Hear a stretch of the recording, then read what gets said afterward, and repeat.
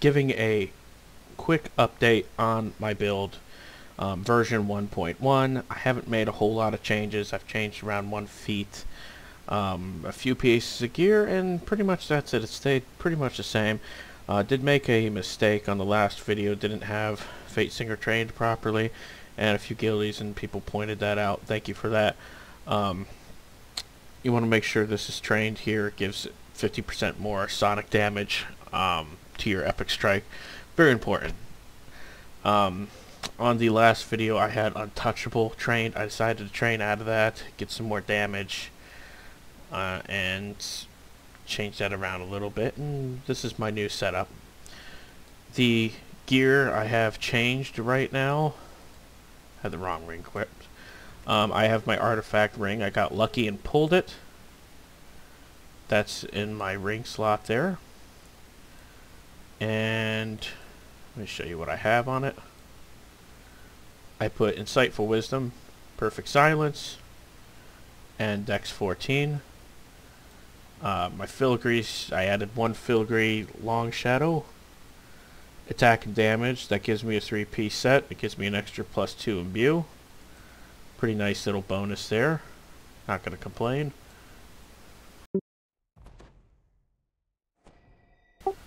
Um, changed around my goggles. Alright, got the goggles of the Archer. Got a nice Reaper boosted pair. Put a nice curse on it, True Seeing. I like that. Okay.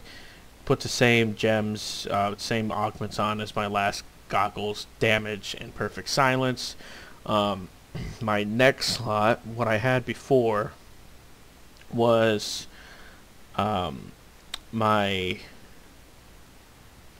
uh, artifact on this. I went and ended up getting this necklace. The reason is um, Insightful Magnetism 74 to Electric Spell Power. So very nice spell power boost. Okay, which is important when you're running already um, imbues. Put the Festin Wisdom and Spellcraft on that. Um, and that's pretty much all I have changed on this setup. Um, started running Ooze for the most part. Have to switch to Vulnerability when we're doing the new raid. Um, on Reaper, I'm not really bothering with it on Hard. Hard doesn't do much damage on the booms. But on Reaper, yeah, you want to switch to um, Vulnerability for sure. Um, why ooze tar uh, gives because when soloing it just gives a little bit more of a uh, something else to attack. You know what I mean? Um, somebody was asking about my augments. I can't remember if I shared augments on my weapons. Think I did. Maybe didn't search through the video. Maybe I forgot to post them, so I'll go through them again. Um, changed one augment on my rune arm. Legendary Arrowbound Topaz stays the same. I got rid of the spell points Okay, I got I had in some spell points in my yellow slot. I replaced it with Constitution, and on my um, actual weapon, I have Good, and then I updated it with the latest Magnetism for as much spell power to my imbues as possible. I did change around my gem with the new raid. I decided to put Fire Absorption and Electric Absorption on it. Um, nice little change I do plan on pushing the new raid. I am planning on pushing it higher Reaper. So yeah, you're going to want Fire Absorb. And Fire Absorb is very nice to have. Same with Electric Absorb. If you're running KT, RTSO, MA, I mean, there's so much that uses fire and electricity damage. Um, yeah, it's it's you, you, it's it's nice to have. Um, as for new gear sets, am I changing anything else? I don't really think so. Um, I'm looking at the new gear sets, and no matter how I swing it, just seems like I'm going to lose so much damage on this thing by going to a new gear set. Um, if you look at all the things on Sorakel, I mean, 25 universal spell power, you've, I'm going to have to change my necklace around, 75 or 74 magnetism. I mean, we're talking about 100, um, we're talking about 100 spell power, and then that's not even including the universal spell power I have from the Dino set. So yeah, we're over 100 spell power. That's a huge DPS loss, and the only thing I'd really be netting from the new gear set is 4 wisdom.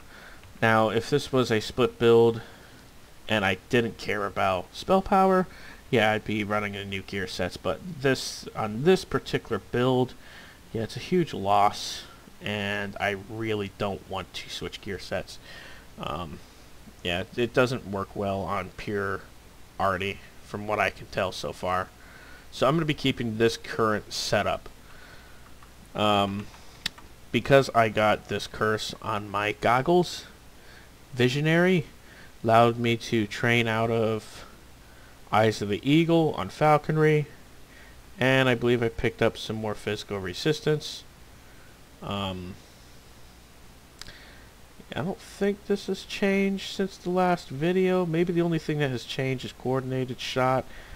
Um, got rid of some of the insta-kill stuff. Mark Prey. It's, it's nice, but too much cooldowns, and I'm not going to bother with it anymore. I'd rather just have the coordinated um, shot, and I feel like the build's doing better with this setup. Uh, I had some people asking me about why I don't train Tier 5 Battle Engineer. Well, I train Tier 5 Falconry just because it's tankier.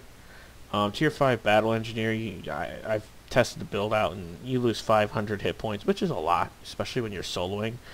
Um, you gain a lot of um, you know, range power, you gain some imbue dice, so it's not a horrible setup, you know. Um, I have different variations of this build I run. This is my normal everyday variation, soloing.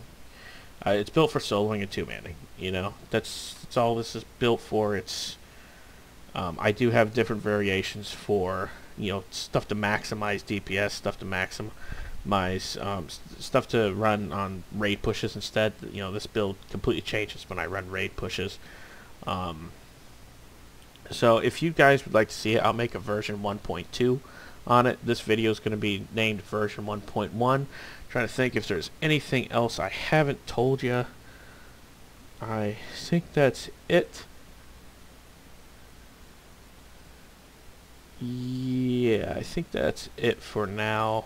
Um, let's check out my imbue dice. What do I have it at? see, sneak 8d6, imbue dice, 15. I did, oh, I forgot to tell you, I took the feat because on these goggles I had the sun augment. I forgot to tell you that. Enduring, 10% um, legendary bonus to maximum hit points.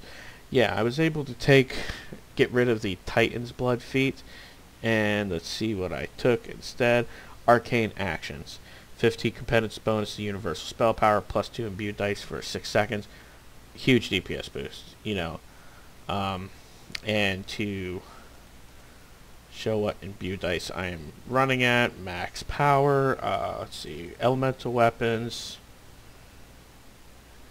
and we'll run a boost. 19, that seems low. I thought I was getting up to 21. Oh, I was getting up to 21 in a different uh, variation of this build. But yeah, in my solo setup, I'm buffing up to 19 and over 800 spell power and Reaper fully buffed on the electric. So yeah, not too shabby. But uh, yeah, that's all I've got on this one. This video is going to be named version 1.1, and I'm going to leave it at that. Thank you all.